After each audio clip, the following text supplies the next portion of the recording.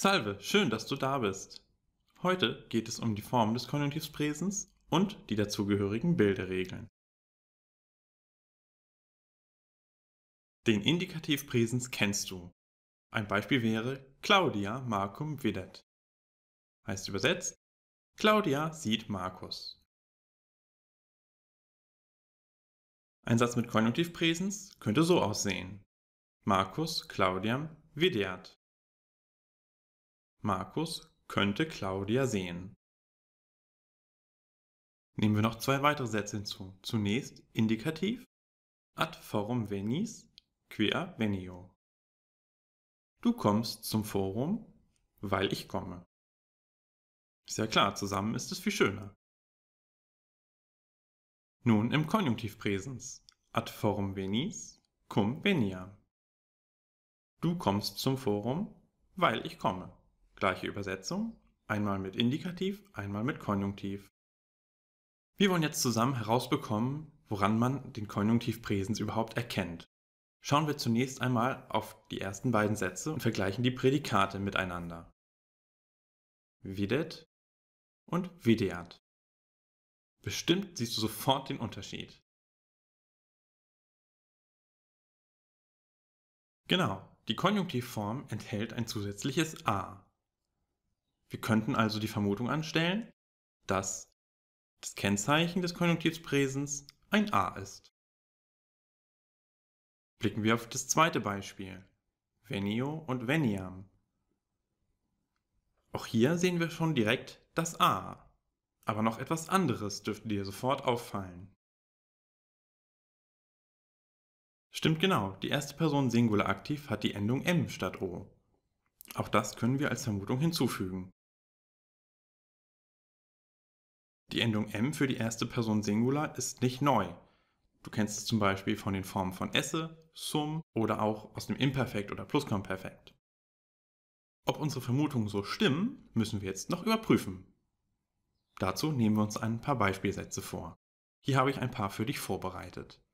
Ich lese sie dir einmal vor. Die Übersetzung kommt direkt im Anschluss, denn es geht uns ja in erster Linie um die Formen.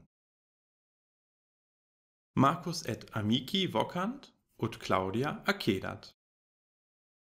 Markus und die Freunde rufen, damit Claudia herbeikommt. Markus, Claudia nos non audet, cum vocemus. Markus sagt, Claudia hört uns nicht, obwohl wir rufen. Amici, Claudiam petamus. Die Freunde sagen, lasst uns Claudia aufsuchen. Amici accedunt ut a Claudia videantur. Die Freunde kommen herbei, damit sie von Claudia gesehen werden. Und schließlich Claudia clamare debetis ut vos audiam. Claudia sagt, ihr müsst laut rufen, damit ich euch höre. Nun, da scheint Claudia etwas schwerhörig zu sein, denn Markus und die Freunde haben ja schon gerufen. Richte deinen Blick nun auf die Prädikate im Konjunktiv am Satzende. Wir wollen unsere Vermutung, die wir vorhin angestellt haben, noch einmal überprüfen. Zur Erinnerung sind sie hier noch einmal eingeblendet. Die Übersetzung lassen wir jetzt einmal weg, die brauchen wir ja nicht so dringend. Schau auf die Prädikate. Das Kennzeichen des Konjunktivs Präsens ist a. Stimmt das? Geh einmal durch.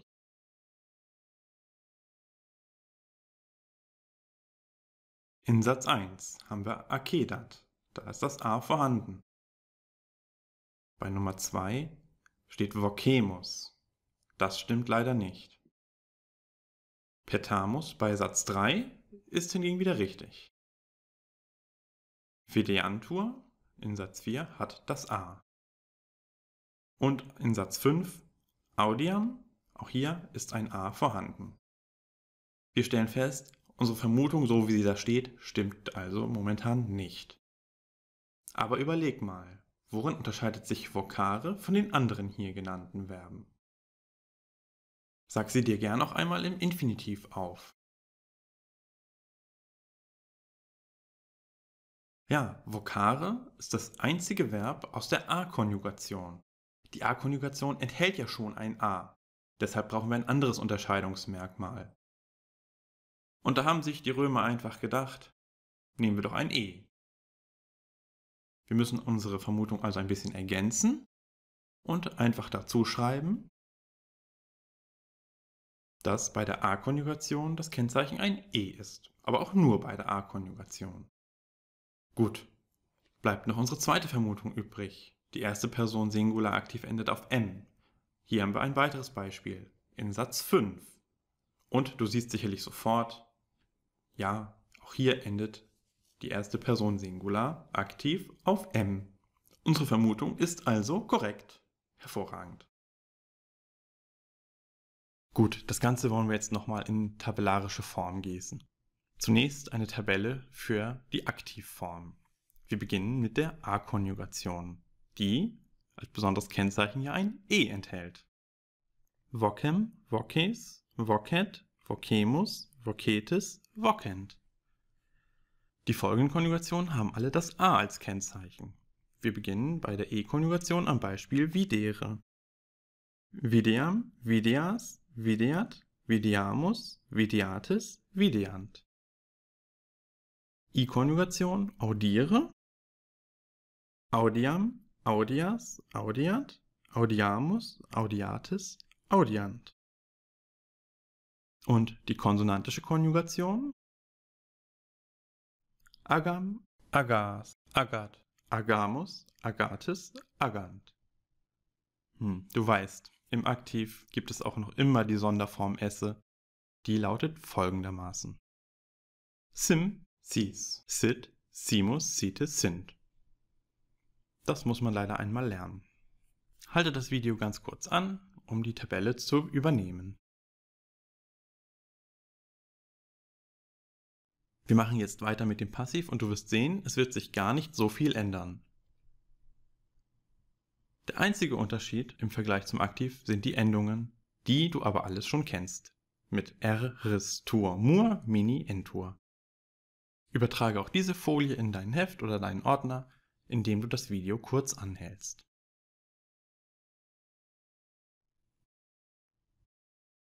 Noch einmal die wichtigsten Regeln zusammengefasst.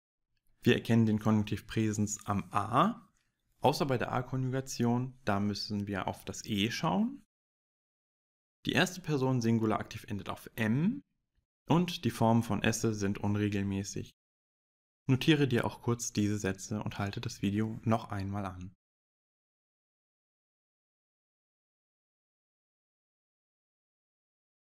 Ob du schon richtig gut mit den Formen des Konjunktivs Präsens umgehen kannst, kannst du jetzt in einem kleinen Quiz ausprobieren. Und hat schon ganz gut geklappt? Sehr schön, dann hast du die Form und die Bilderegeln verstanden. Hast du noch ein paar Fehler gemacht? Gar nicht schlimm. Du kannst dir das Video ja noch einmal anschauen und wenn du dann immer noch eine Sache nicht ganz verstanden hast, fragst du einfach in der nächsten Stunde deine Lehrkraft. Die wird dir sicherlich weiterhelfen. Welche Funktionen der Konjunktiv Präsens haben kann, das kannst du in einem anderen Video erfahren. Aber nun erstmal Tschüss und bis zum nächsten Mal.